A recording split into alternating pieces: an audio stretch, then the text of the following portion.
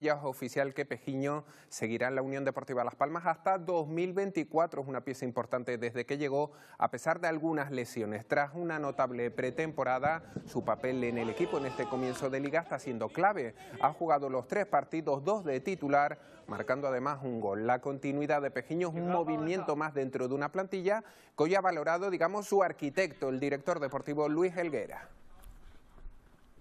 Ha quedado una plantilla bonita. Vamos a ver hasta dónde damos, pero, pero entiendo que, que se ha generado una ilusión, que, que todos estamos contentos y que, que, bueno, que la plantilla es bastante compensada. Los cinco chicos que suben del filial, bueno, de, de la cadena de filiales, que la verdad han subido muy bien preparados. Eh, bueno, sumamos, sumamos ya 29 jugadores. Creo que Jonathan es un jugador diferente, diferencial y que nos va a dar un salto de, de calidad importante. Si sale una grandísima oportunidad, pues la aprovecharemos. Ibai es un gran jugador.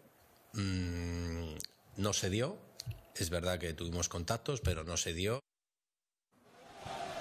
No está, por tanto, Ibai Gómez en una plantilla que va a visitar al Mirandés. El escenario anduvo un campo hasta ahora maldito para Las Palmas. Los datos son aplastantes. Cinco partidos, cinco derrotas. El primer enfrentamiento, aquí lo tienen, entre ambos fue en 2013. 1-0 cayó Las Palmas, 2-1 caería allí en los tres siguientes duelos.